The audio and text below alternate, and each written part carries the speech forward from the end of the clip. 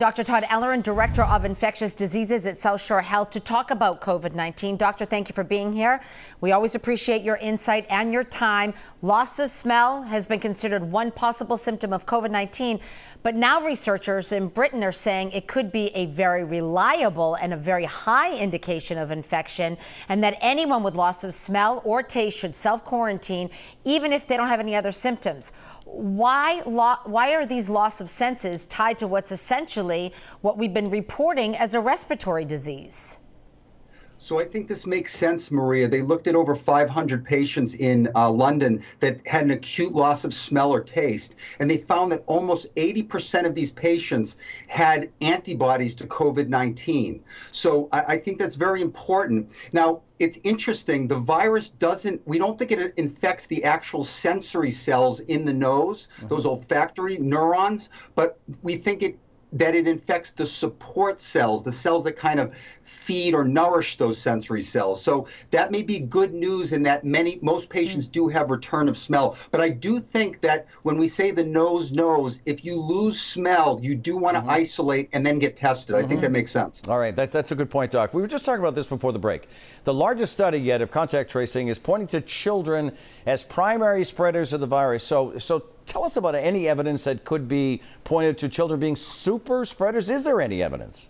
So this was a, a very large study done in a, a couple of southern Indian states, and it looked at over 85,000 patients who had COVID 19 and looked at nearly 600,000 of their close contacts. And what they showed was that it's very interesting that children and young adults made up about a third of those cases. We've thought before that maybe children are less likely to spread to adults, mm-hmm. but in mm-hmm. this case, it looks like children and young adults were. Mm-hmm potentially super spreaders. Mm-hmm. Does this point back to what you've been saying for a while? Masks indoors too? I think it's important, and it also it, see, we want to understand transmission. And what was interesting about the study is that it showed that children actually tended to transmit to children and that older adults tended to transmit to older adults. Knowing this type of transmission is important. The other thing that was fascinating about this study is that it talked about the Pareto principle, which is that a minority of people uh, infected a large group. So 70% mm. of the positive patients mm-hmm. didn't infect anyone. Mm-hmm. 8% of the patients in the study were responsible for 60% of wow. the transmissions. Wow. So wow. those are the, the, super spreading of uh, events. It's it's it's very unusual. We don't see yeah. it with influenza yeah. and it's important that we figure out who these super spreaders are yeah. so we can isolate them.